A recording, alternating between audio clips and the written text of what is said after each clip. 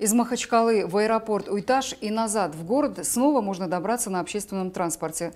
Остановка находится на проспекте Расула Гамзатова, 119, у кассы Аэрофлота. Стоимость проезда 100 рублей. На линии с утра работают два комфортабельных 18-местных микроавтобуса «Форд Транзит». Ежедневно каждый из них делает по 4 рейса. Маршрут открыт с марта текущего года из-за частых запросов жителей столицы.